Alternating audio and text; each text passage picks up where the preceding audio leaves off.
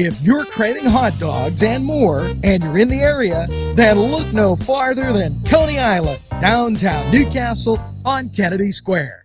Chuck Tanner would be proud of the restaurant that bears his name. Chuck Tanner's Restaurant, owned and operated by the Papazikas family, would love for you to be part of a New Castle tradition. Come enjoy the great breakfast, super lunch, and second to none dinner choices from their Italian, Mediterranean, and American cuisine. You can relax with a wonderful atmosphere and something from the bar. If you're planning an event, ask about their banquet facility. Tanner's Restaurant is located at 2305 Wilmington Road in Neshannock Township. Call 724 658 5900.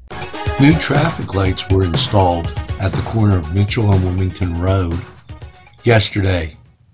Directing traffic were the Neshannock Police Department, and uh, hopefully it makes easier transportation in that area.